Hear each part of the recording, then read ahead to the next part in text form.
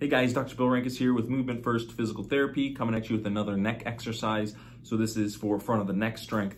If you've been doing the chin holds and sitting, the chin holds and uh, lying down, uh, another, the next step is to move through the range of motion of your neck while using those muscles. So we're gonna go into that same position, leaning back, chin tucked, and then you're gonna let that chin slowly go to let yourself look up.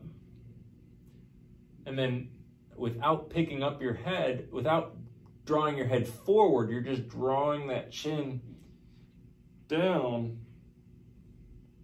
And what that's going to do is it's going to use some of those deep flexor muscles to really get that, that head to go up from there. You, again, we don't want to go forward because uh, then you're using some of those side muscles.